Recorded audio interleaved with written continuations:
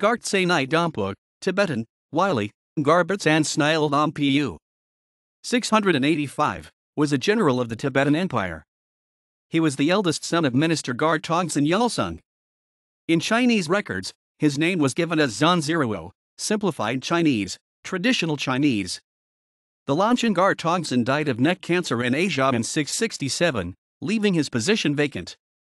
Though many officials regarded Wei Sumnang as the most suitable candidate, Mangsong Mangtsen still appointed Tsenye as the Lönchen.